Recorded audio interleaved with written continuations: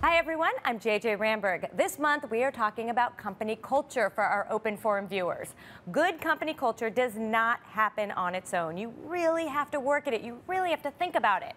USA Today columnist Rhonda Abrams is the president and founder of Planning Shop, a firm that creates content about business planning and entrepreneurship.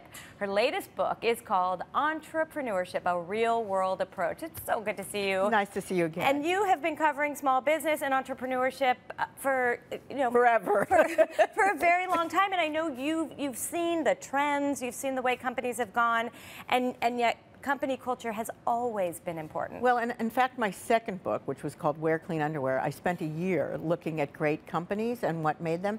And really a major part of what made a great company successful was the culture that they built.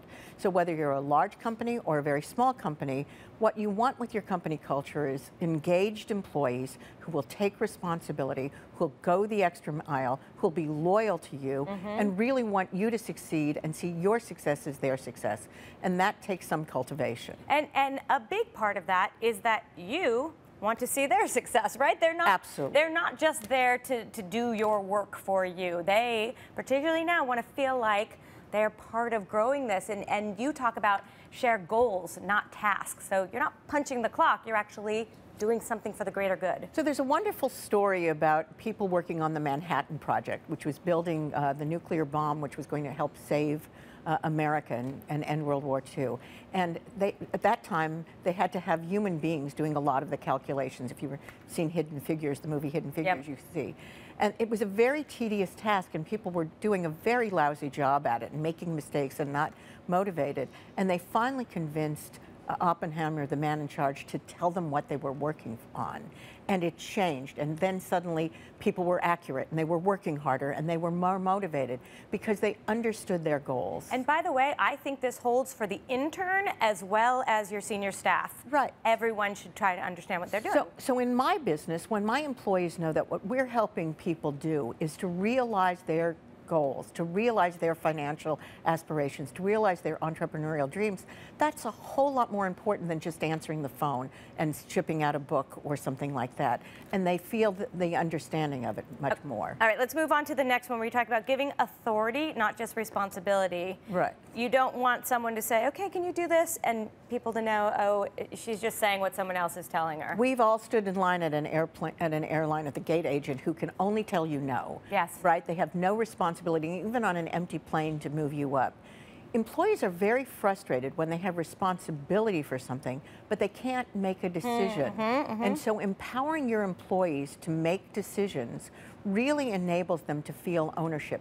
And yes, sometimes they will make a decision that you wouldn't have agreed with or that you don't think was the right decision. But that's part of the development of your employees and the development of your company. And also then you talk about it, right? Absolutely. Then you talk about it. Let me hear where you were coming from. Let me explain where I was. Okay, going on.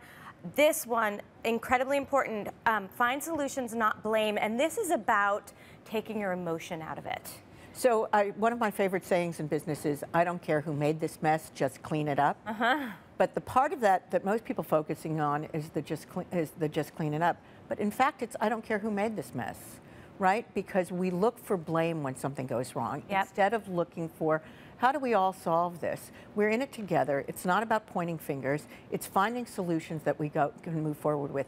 And we are always going to have problems in some business. Somebody's going to make mistakes. That's part of it.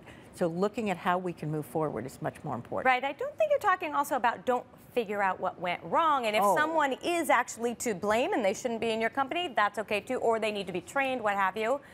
But, uh, but don't don't focus on that so much that you're missing finding the solution. Right, and then and and you don't want to make it so that employees feel fearful all exactly, the time. Exactly, they should and, be able to fail. Right. Okay. They have to be. You want to be able to fail in your business because we know how important failing is in an entrepreneur's success. Employees have to be able to fail a little bit. Uh, not constantly, but a little bit. But a little. And finally, just a simple thank you goes a long way. Just say thank you. And it can be, you know, every day at the end of the day, I say thank you to my employees. It's just little. Or if they do something, yes, it's their job, but they did it well or they did it with enthusiasm, just say thank you. Or by the I, way, just sort of a quick gift certificate for a free coffee or something. Absolutely. It goes really far. I, I used to do something where I'd give somebody uh, their favorite candy bar when they did something. Just knows that you're thinking about it them. With Yep. 79 cents or something, and they loved it. And worth a lot. All right, Rhonda, I'd love seeing you always. Thank you so much. Thank you so much, JJ.